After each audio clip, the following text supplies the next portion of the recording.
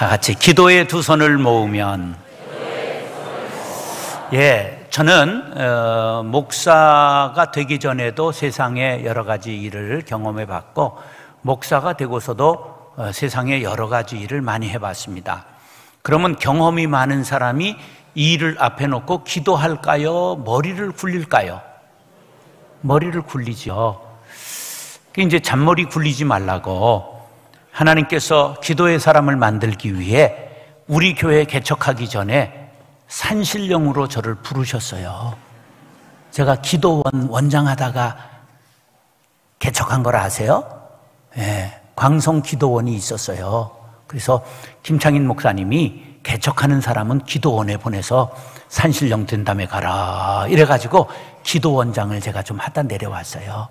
그때 제가 다짐한 게 있거든요. 다 같이 시작. 그래서 열심히 개척하고 기도했어요.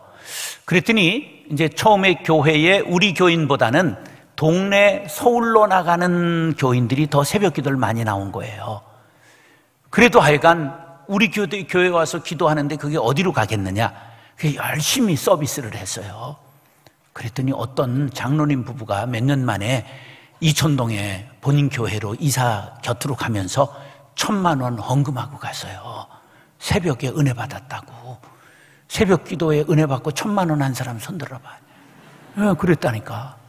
그 다음에 우리 교회에 순복음 교인들이 많이 등록했어요. 장로교는 조용하기 때문에 순복음 교인들이 잘 등록을 안 해요. 적응이 안 되는 거죠. 그런데 우리 교회가 뜨겁게 기도를 하니까 순복음보다 더 뜨겁다고 자기 친정인 줄 알고 많이 왔어요. 긴가 한가 한번 조사를 해보겠어요. 순복음 교회 출신들 한번 손들어 보세요. 예, 아, 버쩍 들어요. 예, 곳곳에 있어요. 아주 많이 왔어요. 장로교에서 순복음이 이렇게 많은 데는 우리밖에 없어요. 예, 그래서 우리는 순복음 장로교회다. 제가 오시면서 그랬어요. 제가 이제 장희 중앙교회 고등부를 졸업할 때 청년부 형들이 책을 선물로 줬는데 토마스 아켄피스라고 하는 사람의 그리스도를 본받아 그런 책을 줬어요. 이게 유명한 책입니다. 이게 참회록과 전로역정과 맞먹는 아주 기독교 최고의 입문서인데요. 근데 이 책 얘기를 하려고 하는 게 아니고 거기에다가 영어 성경 구절을 하나 붙여줬는데 지금까지도 생각해요. 예레미야 33장 3절이에요. 한번 노란 것이만 시작. 그때 제가 아 나는 부르짖는 기도의 용사가 되겠다 이렇게 다짐을 했어요. 우리 교회를 사람들이 사회봉사 잘하는 교회, 문화강좌 잘하는 교회, 개혁적인 교회 이렇게 칭찬을 해요. 그 좋은 칭찬이지요. 그러나 더 하나님이 기뻐하시는 일은 기도가 뜨거운 교회, 중보기도의 용사들이 끊이지 않는 교회, 새벽마다 부르짖는 기도가 민족을 깨우는 교회, 그리고 새벽마다 기도의 향연을 하나님 앞에 드려 하나님의 기쁨이 되는 교회가 되어야 될 줄로 믿습니다. 건물을 자랑하는 교회가 아니라 기도하는 용사를 보라고 자랑하는 교회가 되어야 할 것입니다. 18년 전 이남이 홍이란 두 집사님이 중보 기도학교를 시작했습니다. 여자 집사님 둘이 중보 기도학교를 목사들이 한 게 아니고 지금까지 해서 한 분은 권사, 한 분은 장로님이 됐는데 우리가 한 주에 100명, 100개 넘는 중보 기도 팀이 운영되고 3천 명 이상이 중보 기도에 동참하고 있다는 놀라운 사실입니다. 자, 마태복음 15장에 보니까 예수님께서 두로와 시돈 지방을 갔는데 그때 여자 하나가 찾아왔습니다. 자, 밑줄만 시작.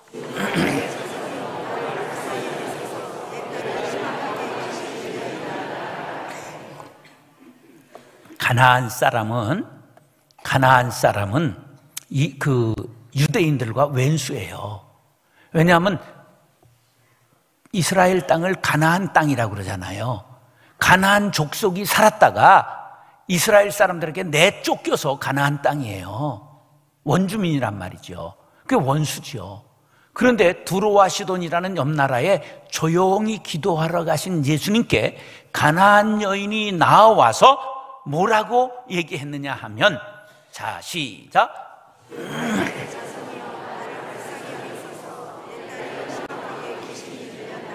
주 다윗의 자손이요. 그 말은 메시아요, 그리스도요 그런 말이에요.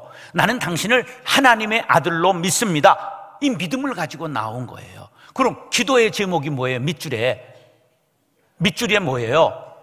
내 딸이 귀신 들렸습니다. 고쳐달라는 거예요. 그러면서 뭐라 그러냐? 나를 딸을 불쌍히 여겨달라고 그러지 않고 누구를 불쌍히 여겨달라고 그래요? 나를 엄마와 딸은 하나기 때문에 그래요. 그럼 엄마와 딸은 무엇으로 하나예요? 피로 하나요? 사랑으로 하나 된 것이지요. 자, 그러면 이렇게 귀신 들린 것 하나님의 아들이 아니곤 못 고친다 하는 믿음이 이 여인에게 있었던 거예요. 자, 자기의 문제가 아니라 딸의 문제, 자기의 문제가 아니라 형제들의 문제를 가지고 나와 기도하는 걸 중보 기도라고 말해요.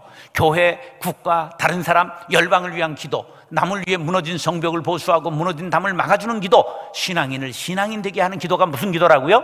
중보 기도예요. 근데 중보 기도의 절대 조건은 뭐냐면 사랑이 있어야 할 수 있는 거예요. 아유, 그년 대들고 그러더니 잘 걸렸다, 뒤져라. 이러면 기도 못 하는 거잖아요. 근데 딸을 사랑하는 마음이 있기 때문에 간절하게 원수 같은 족속에게 나와서 지금 기도를 요청하는 거예요. 중보 기도는 뭐가 절대적이라고요? 사랑해야 돼요. 우리가 사랑을 담고 기도하는 용사들이 될 수 있기를 간절히 바랍니다. 이사야 58장 12절 밑줄 시작.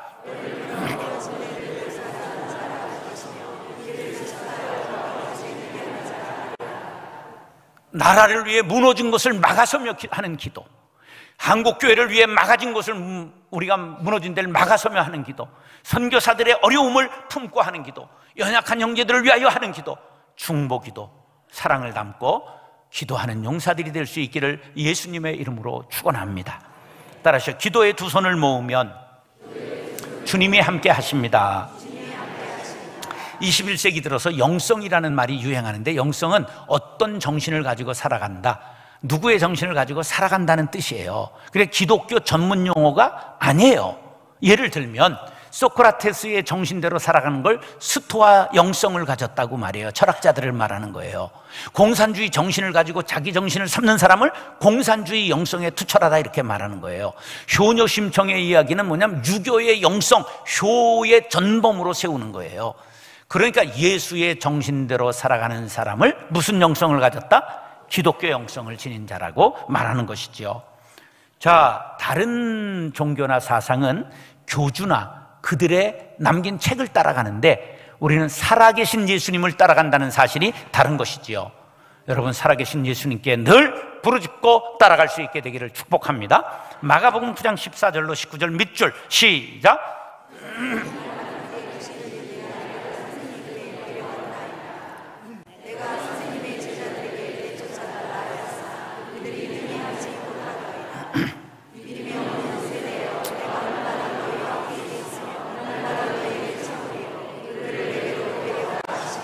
예수님이 산 위에 올라 기도하러 가실 때 베드로, 야고보, 요한, 수제자 셋을 데려갔어요.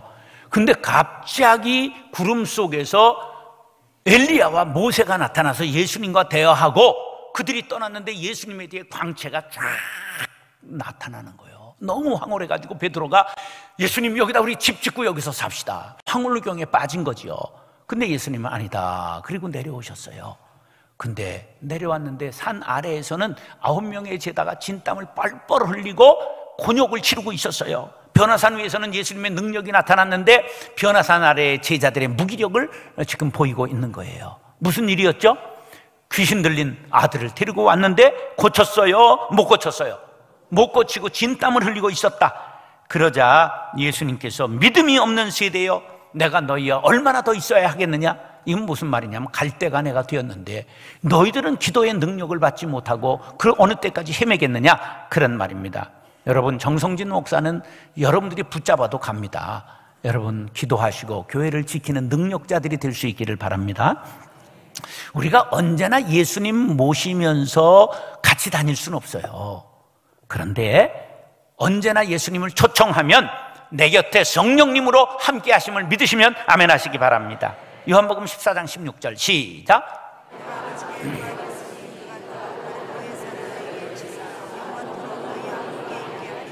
자, 저기 다른 보혜사가 나왔잖아요. 보혜사는 παράκλητος라고 하는 헬라어인데 그 뜻이 뭐냐 하면 그 뜻이 위로자, 대언자, 중보자예요. 근데 보혜사는 누구냐면 예수님이에요. 근데 오늘 본문에는 다른 보혜사가 나왔잖아요. 그건 성령님을 뜻하는 거예요. 보혜사 되시는 예수님께서 하늘로 가신 후에 성령님을 우리에게 보내주셨습니다. 할렐루야. 그러므로 예수님이 육신을 입고 이 땅에 계속 살아 계셨으면 제한을 받기 때문에 몇 명이나 고쳐주겠어요. 그러나 전 세계 만민이 이 시간에 동일하게 성령님, 성령님을 부르면 참 우리 곁에 계셔서 능력 주시는 줄 믿으시면 아멘 하시기 바랍니다. 그러면 기도하면 주님 곁에 있는 것입니다. 기도하는 사람만이 누릴 수 있는 특권입니다. 기도하는 사람은 사자굴에서도 두려워하지 않고 풀무불 속에서도 혼자가 아닙니다. 깊은 토굴 속에 금식하며 기도할지라도 하나님이 함께 하심을 믿으시기 바랍니다. 그러므로 기도하는 사람은 꺾을 장사가 없는 것입니다. 개신교하고 싸우던 메리라는 구교도 왕이 이렇게 말했습니다. 시작. 영국을 호령하는 메리 왕이 기도하는 용산 존 낙스 하나를 이기지 못하고 한 말입니다. 일자무식 할머니라도 기도하는 할머니가 유식하지만 대학 박사를 나왔지만 기도하지 않는 보다 지혜롭다는 사실을 기억하시기 바랍니다. 하나님이 지혜를 주시기 때문입니다. 계시록 5장 8절 시작.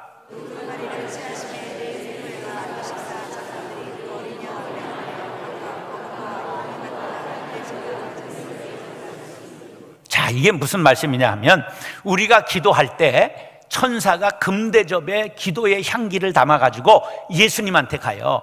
그럼 예수님이 그 기도의 제목들을 하나님 앞에 중보 기도 올립니다. 그러면 기도가 응답되는 줄로 믿으시기 바랍니다. 사랑하는 형제 자매 여러분, 기도하는 사람은 언제나 주님과 함께 하는 것입니다. 기도함으로 주님과 동행하고 승리할 수 있게 되기를 예수님의 이름으로 축원합니다.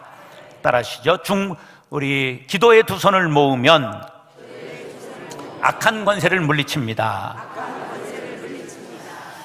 자, 예수 믿지 않는 사람을 사탄이 공격하겠어요? 예수 믿는 사람을 공격하겠어요? 왜요? 자기의 대적이 되니까 자기 꼬붕은 건드리지 않는 거예요. 그러니까 우리가 신령한 세계에 눈을 뜨게 되면 시험이 시작되게 되는 거예요. 내게 시험이 있다. 아, 내가 하나님의 자녀가 되었구나. 반가워하시기 바랍니다. 우리가 싸우는 전쟁에 대해서 에베소서 6장 12절은 중요한 말씀 했지요. 시작.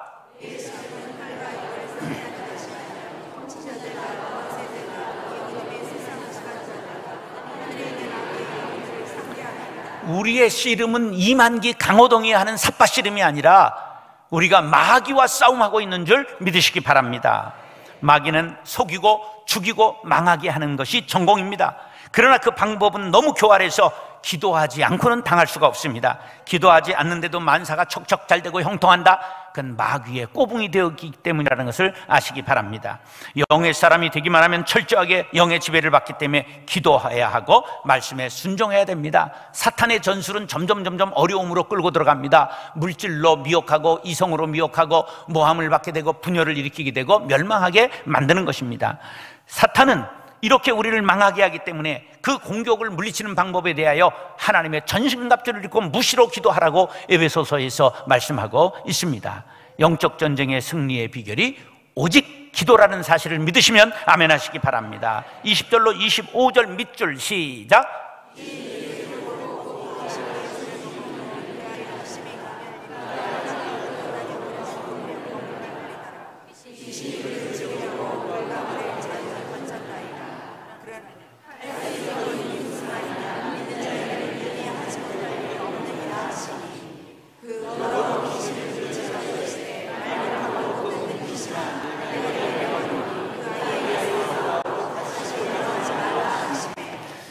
사탄은 사람의 약한 부분을 전부 꿰뚫어 앓고, 있, 알고 있습니다. 그리고 그것을 파고 들어옵니다. 지금 이 아이는 간질이라는 약함이 있었습니다. 그것을 파고 들어와서 사탄이 지금 넘어뜨리는 것입니다. 자, 삼손은 무슨 약함이 있었을까요? 정욕이 약했어요. 그 정욕이 약했다고 산삼 먹을 정욕이 아니라 정욕에 약했다 그런 말이에요. 그러면 우리가 에서는 무엇에 약했어요? 먹는 데 약했어요. 그래서 팥죽에 떨어지는 거예요. 그러면 마가 요한이 바나바와 사울과 함께 선교를 처음 갔잖아요. 그런데 도, 도망오잖아요. 뭐가 약했어요? 의지가 약한 거예요. 왜? 부잣집 아들로 태어나 고생을 안 해봤으니까. 그러면 여러분들의 약함이 무엇입니까? 나는 얼굴이 너무 예쁜 게 약함인 줄 아시기 바랍니다. 왜냐하면 이쁨은 폭석을 한 경우가 많아요. 칭찬을 너무 어려서부터 이렇게 어? 잘났다 잘났다 이러니까 추, 이게 추워지니까 사람이 아주 연글질 못하는 거예요. 폭석을 해진다 그런 얘기요. 그러니까 내게 인간적으로 장점이 약점이 될 수 있는 거예요. 이렇게 음악 찬양 좋아하고 이런 사람들은 뭐가 약점일까? 에? 이게 너무 감성적이 감성이 풍부한 게 실족할 수 있는 경우가 되는 거예요. 그러면 뭐를 우리가 배워야 돼요? 의지를 작동해야 되는 거지. 그럴 때 여러분들 그리스도의 보혈을 바르시기 바랍니다. 그러면 하나님께서 우리가 기도할 때 우리의 약한 것을 봉해 주실 줄로 믿습니다. 자, 사탄은 약한 부분을 뚫고 들어와 우리를 죽이고 물과 불에 던집니다. 사람으로는 이길 수 없을 때 하나님이 도우십니다. 다 같이 시작. 우리 믿음을 가지고 한번 강하게 외쳐보겠습니다. 시작. 아니 보이지도 않는데 뭘 해? 시작.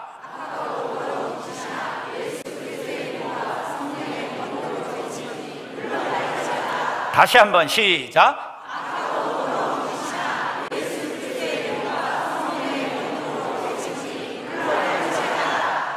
하나님께서 우리를 자녀 삼아 주셨기 때문에 이런 권능을 이미 주셨습니다. 요한복음 요한복음 1장 12절 시작.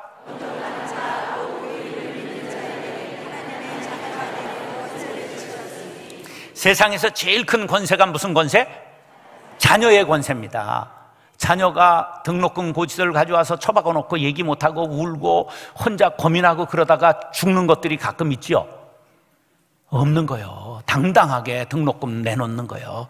그럼 울고 돈 구해오는 건 부모가 할 일이야. 이게 부채질 하는 사람이 생기면 에어컨을 틀어야 되는데 얘들은 뭘 하고 있는가. 자, 세상에서 제일 큰 권세가 무슨 권세라고요? 자녀의 권세요. 아, 내가 11개월 된 손주가 있는데 막 만민이 그 앞에서 떠는 거야. 난 정말 더러워서 못해 먹겠어.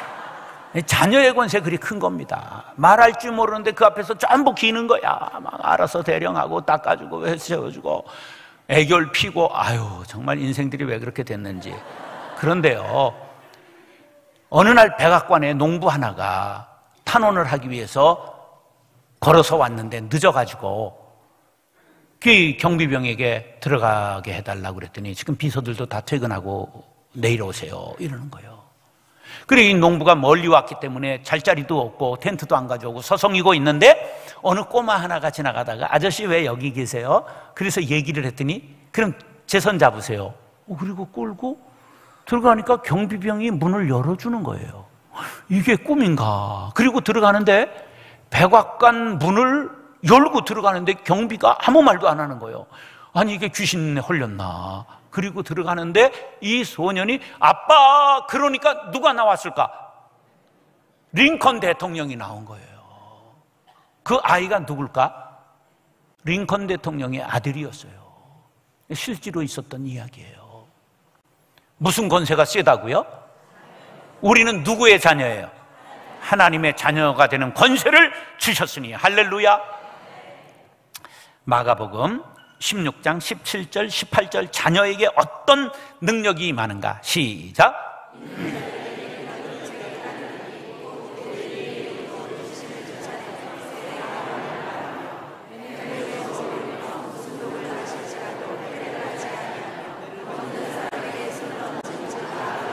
할렐루야. 사랑하는 형제 자매 여러분, 하나님의 자녀된 권세를 믿고 기도하셔서 악한 세력을 물리치시고 승리하는 용사들이 될 수 있기를 예수님의 이름으로 축원합니다. 따라하시죠. 기도의 두 손을 모으면 사람을 살립니다. 사탄이 하는 일은 속이고 죽이고 망하게 하는 일인데 성령님이 하시는 일은 살리고 세우고 회복시키는 일입니다. 그러므로 열매를 보면 이게 사탄이 하는 일인지 하나님이 하시는 일인지 알 수 있게 되는 거지요. 마태복음 7장에 보면 이런 말씀이 있어요. 밑줄만 시작.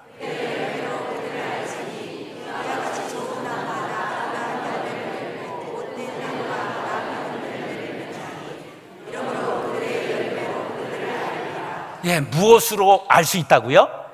열매를 거룩한 빛 광성교회는 성령의 열매를 주렁주렁 맺게 되기를 간절히 바랍니다. 교회는 꿈나무들이 자라야 되고 인재를 양성해야 됩니다. 영계의 거목이 자라야 됩니다. 정치, 경제, 문화, 군사, 사회, 법조계, 경제, 의학, 과학 모든 부분의 인재들이 자라나는 교회가 될 수 있기를 간절히 바랍니다. 지금만 잘 되다가 다음 때안 되는 교회가 아니라 다음 때가 더 잘 되는 교회가 될 수 있기를 간절히 바랍니다. 그러면 우리 모두가 하나님 앞에 칭찬받게 될 것입니다. 농사 중에 제일 어려운 농사가 뭐예요? 자식 농사, 사람 농사가 어려운 것입니다. 교회는 사람 농사 하는 것입니다. 교회의 처음 모델이 노아 방주예요. 노아의 방주가 교회의 뭐라고요? 모델이에요. 교회는 이러한 곳이다. 그것이 창세기 9장 16절에 6장 19절에 이렇게 나와요. 시작.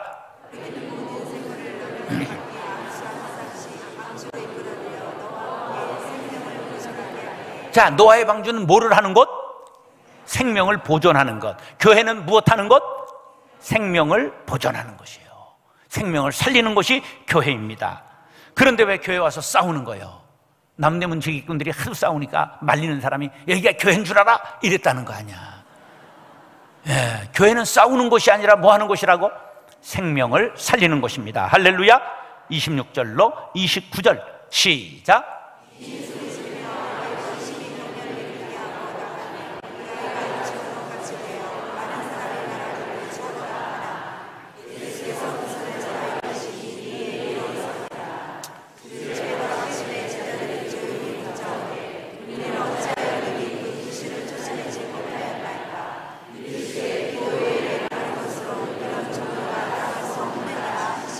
아이가 경련이 일어나 죽은 것 같이 되었어요. 사람들이 죽었다. 그렇게 말할 때 예수님이 손을 잡아 일으키니 아이가 일어났습니다. 할렐루야.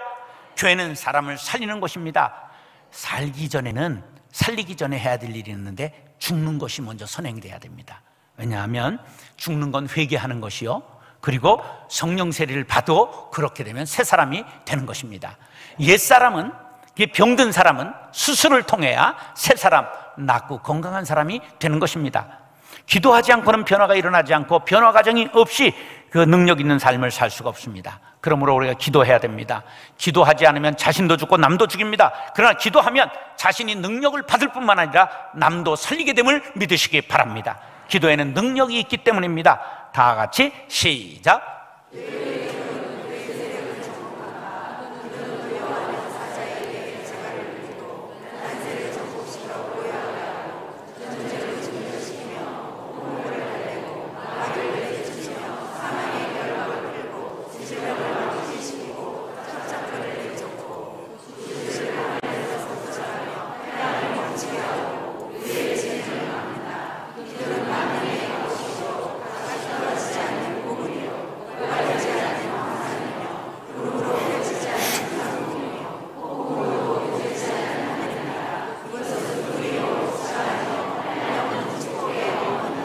황금의 입이라고 하는 별명을 가졌던 크리소스톰이라고 하는 초대교회 교부의 글입니다. 얼마나 설교를 잘했는데 입이 무슨 입이라고요? 황금의 입이다. 우리는 지능만도 못한 목사인데 이분은 이런 능력을 가진 분이에요. 마음에 새기시기 바랍니다. 한마디로 기도는 영혼의 호흡입니다. 우리가 호흡을 멈추는 순간 생명을 잃게 됩니다. 우리의 호흡이 풍성하면 다른 사람을 인공호흡으로 살릴 수 있습니다. 기도하면 가정을 살리고 교회를 살리고 나라를 살리고 여러분도 살 수 있게 될 줄로 믿습니다. 칼빈의 말입니다. 시작.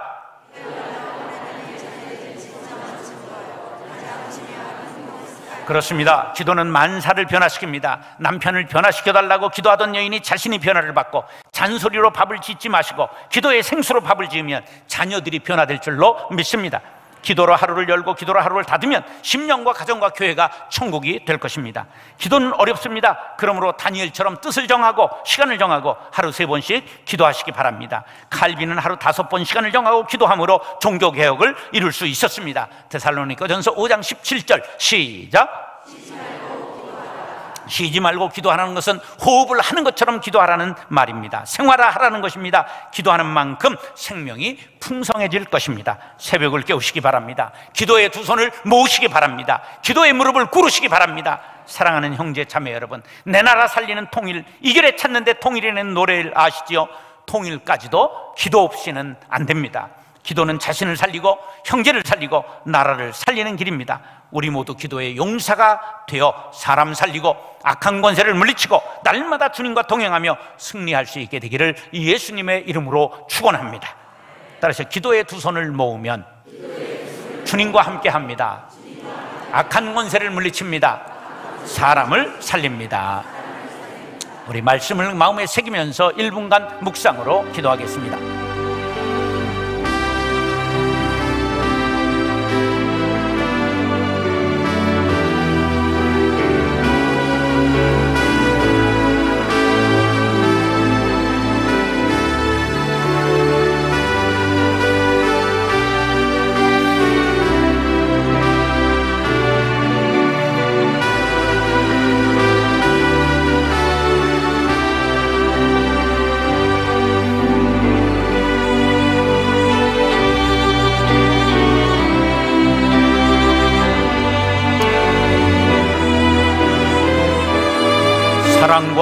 은혜가 풍성하신 아버지 하나님, 기도의 두 손을 모으고 주님과 동행하기를 원합니다. 악한 권세를 물리치기를 원합니다. 생명을 살리기를 원합니다. 그런 능력을 허락하여 주옵소서. 그런 교회가 되게 하여 주옵소서. 예수님의 이름으로 축복하며 기도드리옵나이다. 아멘.